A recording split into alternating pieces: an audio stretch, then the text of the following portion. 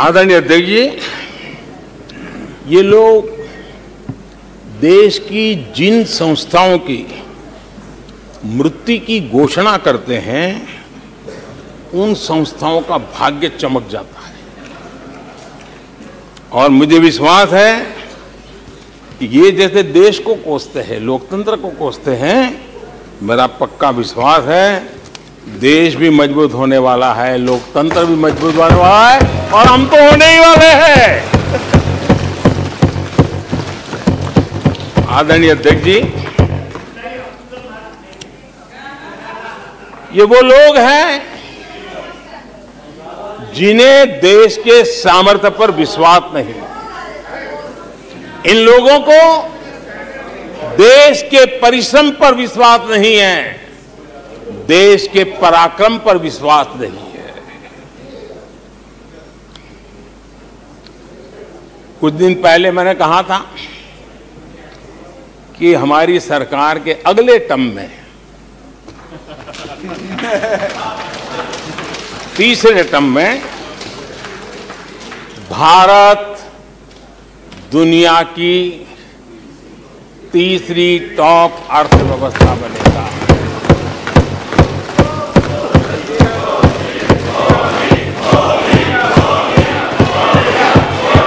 आदरणीय अध्यक्ष जी। आदरणीय अध्यक्ष जी। अब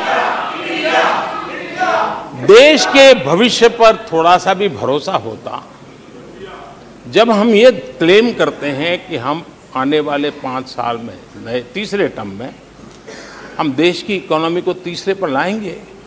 तो एक जिम्मेवार विपक्ष क्या करता? वो सवाल पूछता सवाल पूछता अच्छा भाई बताओ। निर्मला जी, बताओ कैसे करने वाले हो? अच्छा मोदी जी, बताओ कैसे करने वाले हो? आपका रोड मैप बताओ। ऐसा करते? अब ये भी मुझे सिखाना पड़ रहा है। लेकिन या या वो कुछ सुझाव दे सकते थे। ये कुछ सुझाव दे सकते थे। या फिर कहते,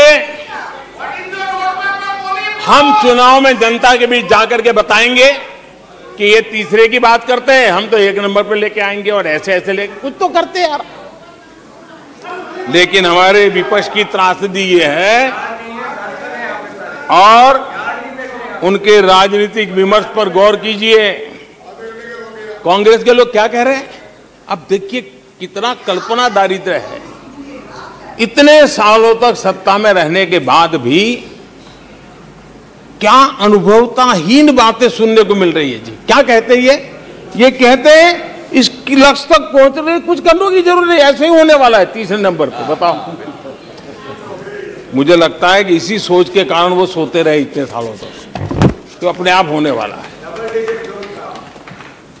वो कहते बिना कुछ किए तीसरे पहुँच जाएँगे। और कांग्रेस की माने अगर सब कुछ ऑफ़ ही अपने आप ही हो जाने वाला है, इसका मतलब है कांग्रेस के पास न नीति है, न नियत है, न विजन है, न वैश्विक अर्थव्यवस्था की समझ है और न ही भारत के अर्थ जगत के ताकत का पता है। और इसलिए सोए सोए सब हो जाएगा। यही एक आदरणीय अध्यक्ष जी, ये वजह है कि कांग्रेस के शासन में भारत गरीबी और गरीबी को बढ़ाता गया।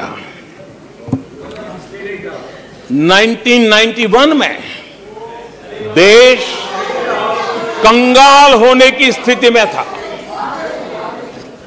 कांग्रेस के शासनकाल में अर्थव्यवस्था दुनिया के क्रम में 10, 11, 12 इसके बीच में झोले खाती थी। झूलती रही थी। लेकिन 2014 के बाद भारत ने टॉप पाँच में अपनी जगह बना ली।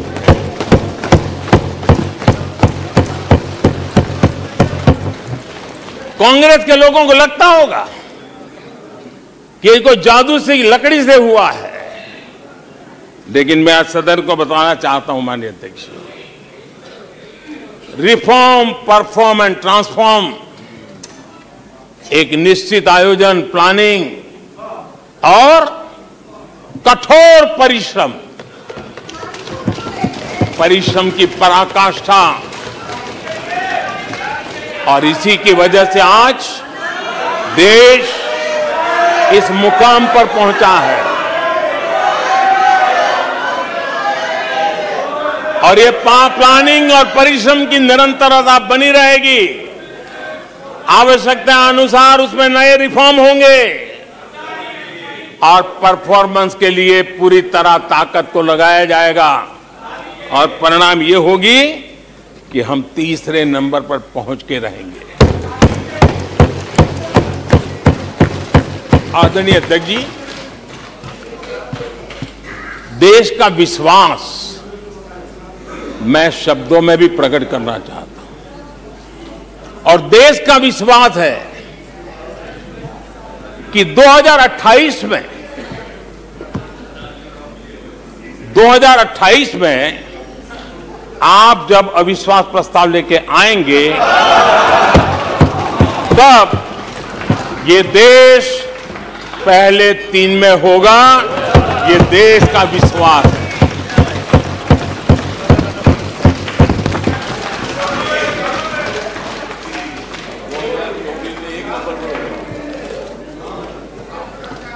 आदरणीय अध्यक्ष जी, हमारे विपक्ष के मित्रों के फितरत में ही अविश्वास भरा पड़ा। है हमने लाल किले से स्वच्छ भारत अभियान का आह्वान किया, लेकिन उन्होंने हमेशा अविश्वास जताया। कैसे हो सकता है? भाई गांधी जी भी आके गए करके, कह के गए, क्या हुआ? अब स्वच्छता कैसे हो सकती है? अविश्वास से भरी हुई इनकी सोच है। हमने माँ बेटी को खुले में शौच से मुक्त करने के लिए, उस मजबूरी से मुक्त होने के लिए शौचालय जैसी ज़रूरत पे ज़ोर दिया। और तब ये कह रहे क्या लाल किले से ऐसे विषय बोले जाते हैं क्या? क्या ये देश की प्राथमिकता होती है क्या? हमने जब जनधन खाते खोलने की बात की, तब भी यही बात निराशा की। क्या होता है, जनधन खाता, उनके हाथ में पैसे कहाँ है? उनका जेब में क्या पड़ा है? क्या लेके आएँगे? क्या करेंगे? हमने योग की बात की, हमने आयुर्वेद की बात की, हमने उसको बढ़ावा देने की बात की तो उसका भी मखौल उड़ाया गया। हमने स्टार्टअप इंडिया की चर्चा की तो उन्होंने उसके लिए भी निराशा फैलाई। स्टार्टअप तो कुछ हो ही नहीं सकता है। हमने डिजिटल इंडिया की बात कही तो बड़े बड़े विद्वान लोगों ने क्या भाषण किए? हिंदुस्तान के लोग तो अनपढ़ है हिंदुस्तान के मोबाइल चलाना भी नहीं आता है। हिंदुस्तान के लोग कहाँ से डिजिटल करेंगे? आज आज डिजिटल इंडिया देश आगे है। हमने मेक इन इंडिया की बात कही। जहाँ गए वहाँ। मेक इन इंडिया का मज़ाक उड़ाया। जहाँ गए वहाँ मेक इन इंडिया का मज़ाक उड़ाया। आदरणीय अध्यक्ष जी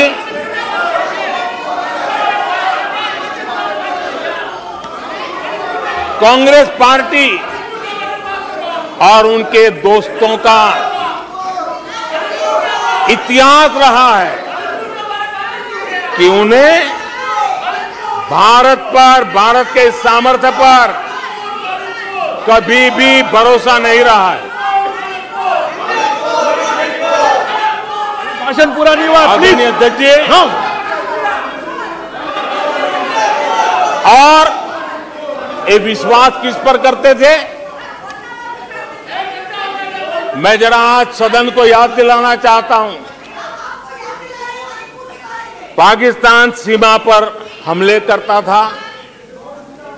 हमारे यहाँ आए दिन आतंकवादी भेजा जाता था और उसके बाद पाकिस्तान हाथ ऊपर करके मुकर जाता था, भाग जाता था, बोले हमारी तो कोई जिम्मेवारी नहीं है।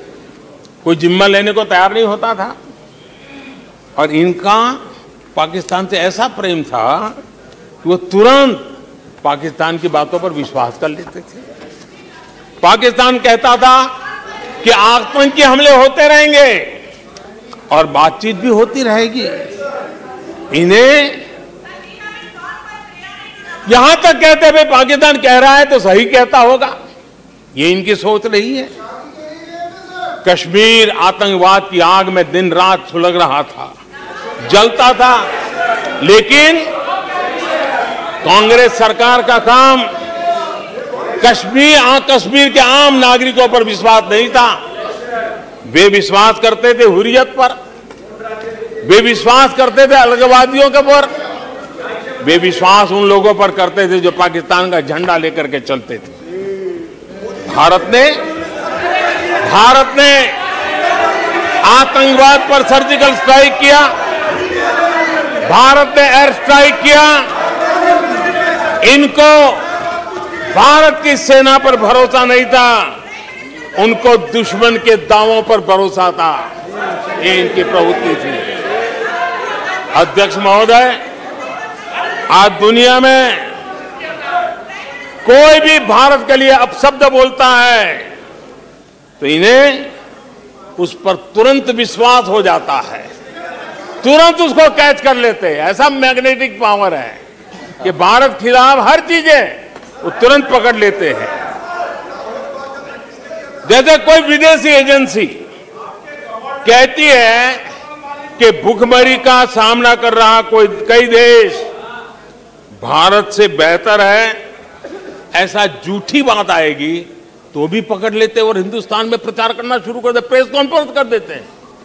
भारत को बदनाम करने में क्या मज़ा आता है? दुनिया में कोई भी ऐसी बेतुकी बातों को मिट्टी के ढेले जैसी जिसकी कीमत ना हो, ऐसी बातों को तवज्जो देना ये कांग्रेस की फितरत रही है और तुरंत उसका भारत में एम्पलीफाई करना, प्रचार करना पूरी कोशिश टीम लग जाती है।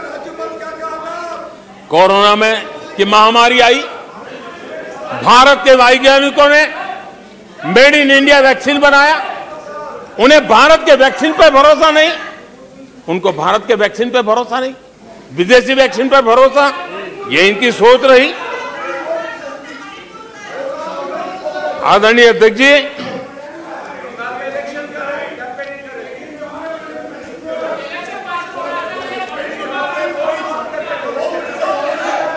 देश के कोटि कोटि नागरिकों ने भारत के वैक्सीन पर विश्वास जताया।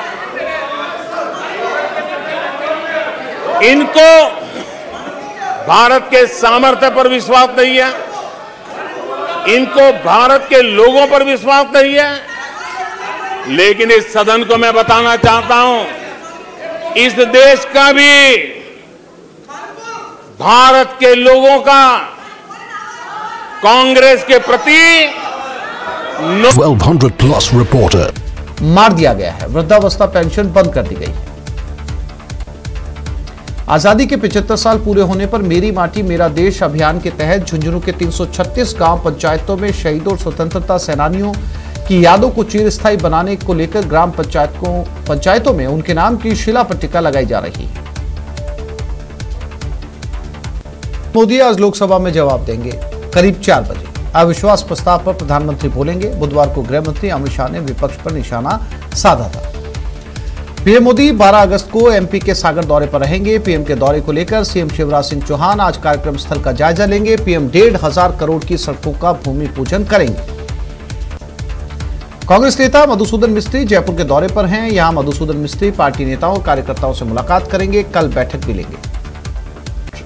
सीएम गहलोत आज इंदिरा गांधी स्मार्टफ़ोन योजना का शुभारंभ करने जा रहे हैं। पहले चरण में 40 लाख महिलाओं को स्मार्टफ़ोन मिलेंगे। प्रदेश भर के ब्लॉक मुख्यालय पर शिविर का आयोजन होगा। राजधानी जयपुर में नर्सेज ने हल्ला बोला। नर्सों ने 11 सूत्रीय मांगों को लेकर प्रदर्शन किया। इसके साथ ही समाधान न होने पर आंदोलन की चेतावनी दी।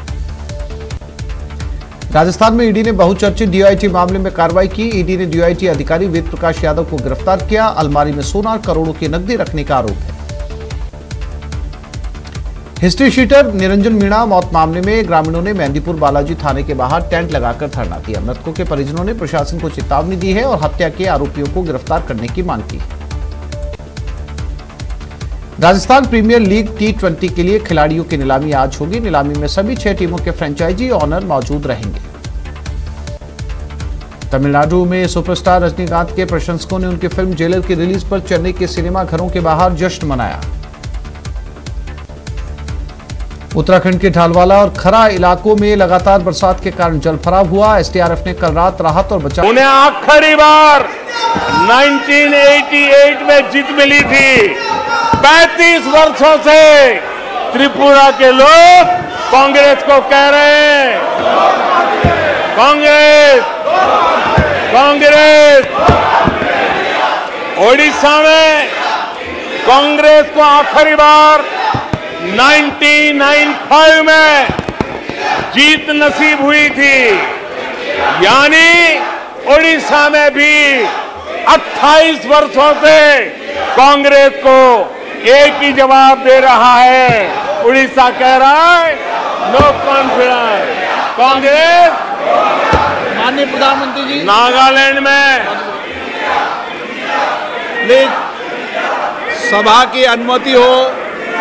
तो सभा की कार्रवाई इस विषय की समाप्ति तक बढ़ाई जाती है।